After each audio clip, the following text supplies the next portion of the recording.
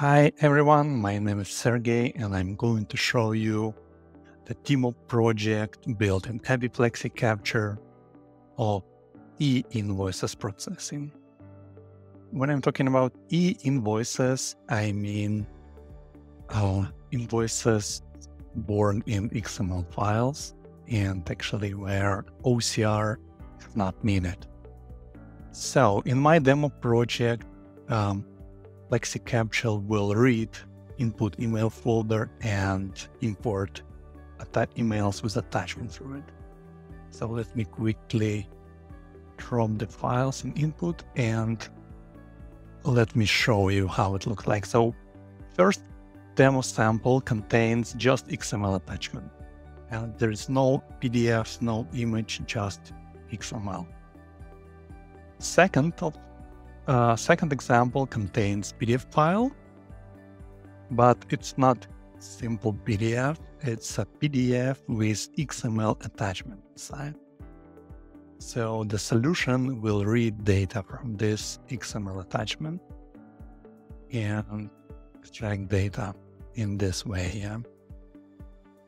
So jumping back to FlexiCapture, uh, this is the verification station interface. Let me open the project and the tasks are already there. This is the PDF with XML attachments. Here we see that FlexiCapture imported the original PDF file, two pages, and here in data, it's not extracted from PDF data. It's data extracted from XML. Yeah, for example, there is no postal code here, uh, and our city is different.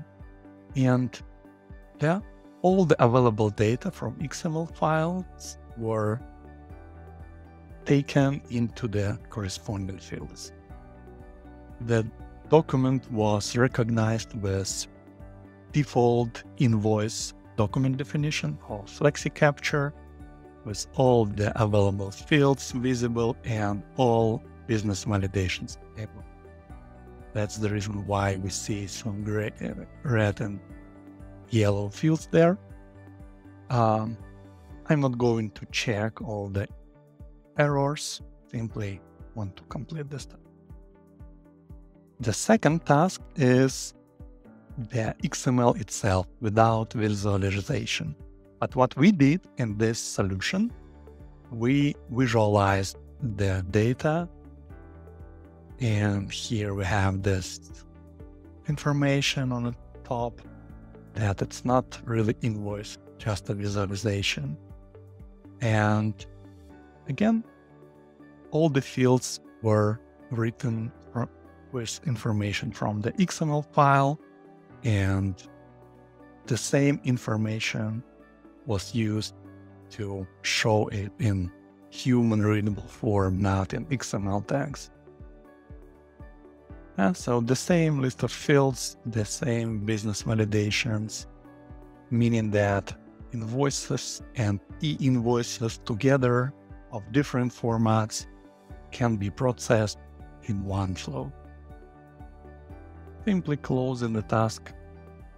And in output, we have the PDFs named with original file name and containing the original PDF in one case and the visualized PDF in second case and JSON files of the same format.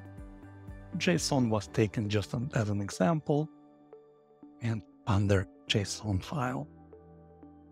Uh, of course, our formats can be different. One of the, for example, one of the supported by default formats available in FlexiCapture or any custom export format.